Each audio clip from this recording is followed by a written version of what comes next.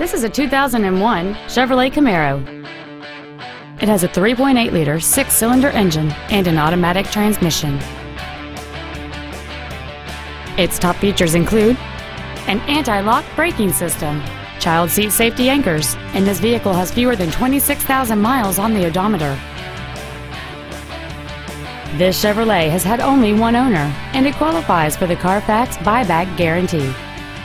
Stop by today and test drive this automobile for yourself.